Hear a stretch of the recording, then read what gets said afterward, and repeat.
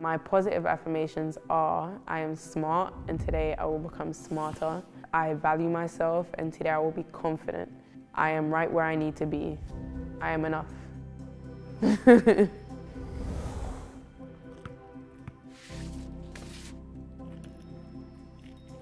My name is Shanice Beckford Norton. I am a big 25. I am a professional basketball player for London Lions.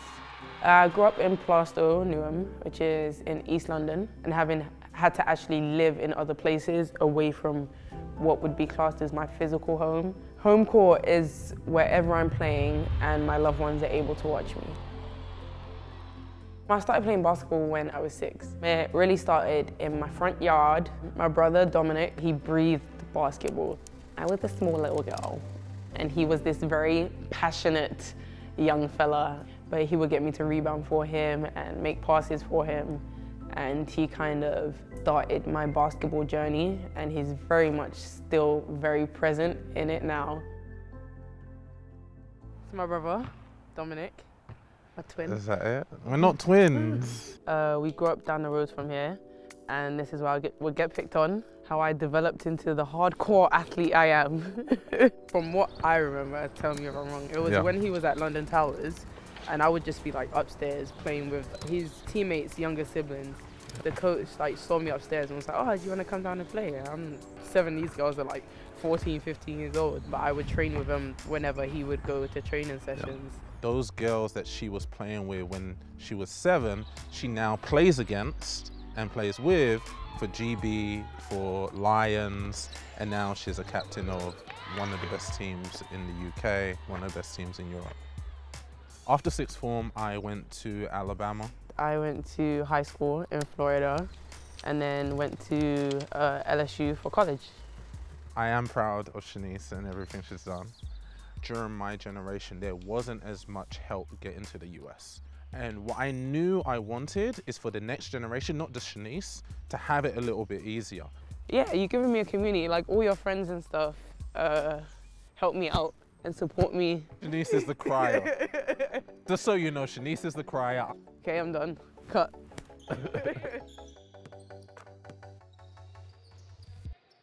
so I ended up going to high school at 16, so I didn't do sixth form uh, here in the UK. From there, I got a four-year scholarship to LSU. And I don't think I really thought about the fact that, okay, I'm gonna be here for six years and I'm literally going from a teenager to a woman in this point and I'm not doing it at home with the comfort of my family around me. Me being home now, I hear my mom say like I miss you a lot more than when I was over there and I think it's just because now we've connected so much whenever you aren't around I miss you that little bit more because I know you're right there. Um,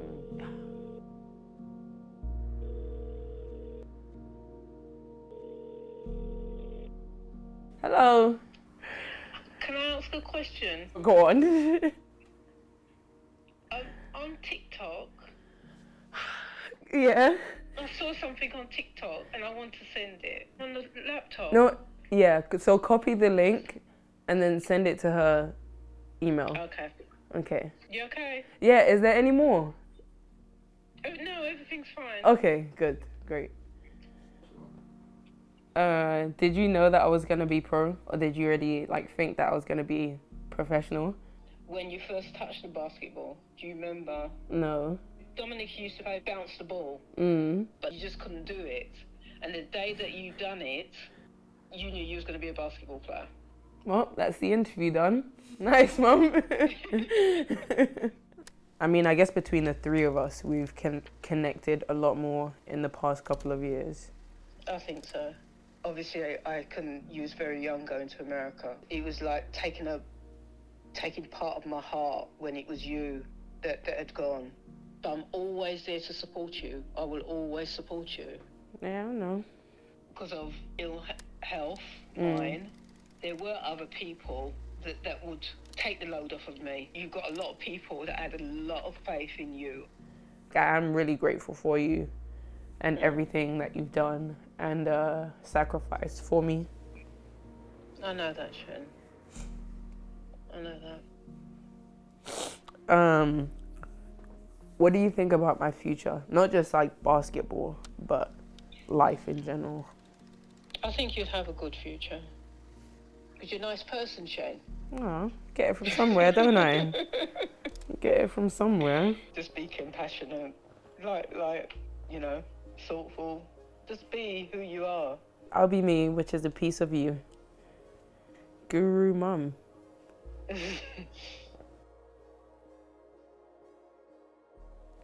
I've started to recognize as I've gotten older, like who truly is within my network. That's important because I know when I'm at my lowest, who's actually going to be there for me.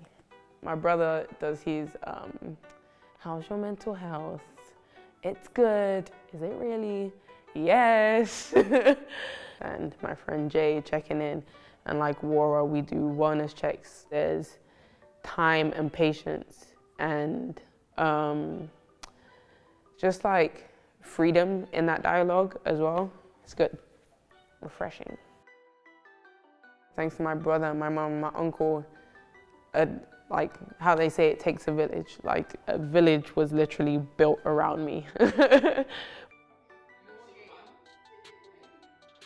my uncle, Gary Beckford, he has played such a huge part in my life um, from my upbringing and I have no idea where I would be without my uncle. Uh, I wouldn't be the same person. I've been there since she was born and I've always been around. She sees me all the time, whether she's in the States or whether she's in another country, it doesn't actually matter. And she knows I'm going to be there. When you talk about elite athletes, everyone thinks that they're already all sorted. The reality is it's not that. We all need somebody to talk to. And I, I try to be happy and smiley and look on the positive side of, of things. So I guess some of that may have rubbed off. She's a fantastic role model. She just inspires everybody to work hard. You see her, you can't stand still. You've got to work, you've got to work with her. The, the sport industry can be really harsh, um, especially with young athletes. So I do try to take the time to get to know the kids that I coach for who they are and not just, oh, this is just some kid coming to play basketball. There's so many women that have inspired my journey and touched my journey in one way or another, and they probably don't even know it literally the people that I'm playing with now, like Chantel, Shaquila. I remember in, I remember in college, they would do like trivia questions, like who's your favorite athlete? For at least three years, I put Azania. It would be crazy to think that like some, some young athlete sees the same in me as I do in them. It would complete me. It's great being back in London. I mean, there is a lot of heart here. Obviously, my mom, my brother, my uncle, and I have like Caroline, uh, Caroline Charles is my second mother. She's one of the pieces of my basketball court heart.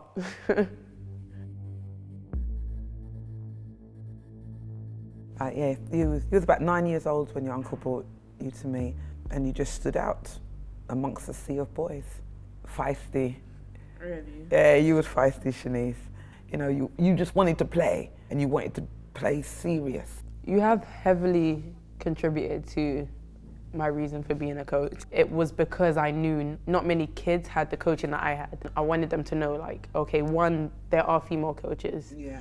Two, there are black female coaches. Three, there are young female coaches. yeah, because when I was coaching you, I was an anomaly. There wasn't another black female coach. Mm. Well, not in London anyway. The coach or the referee would look past me, oh, where's the coach? Mm because they didn't realize I was the coach. Now I look at you and I look at all the other coaches that are coming up and I'm thinking, this looks good. There, there, is no, there is no Caroline. There's nobody like Caroline. I'm unique. I'm, a, I'm the GOAT. No, you definitely are unique. I'm unique. But there is Shanice Norton. There is you. You just be um, you. I've seen with every player that you've coached, you've actually cared about them more than just, oh, this is my play and they're going to help you win games. I call it knowing my cats, and this is a good thing for you now that you're going into coaching. 12 girls does not make one person. They're all different mm. and you've got to approach them in different ways.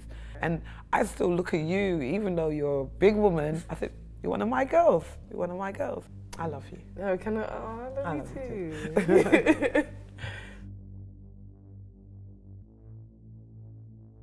I think I'm that person that always checks on people in private.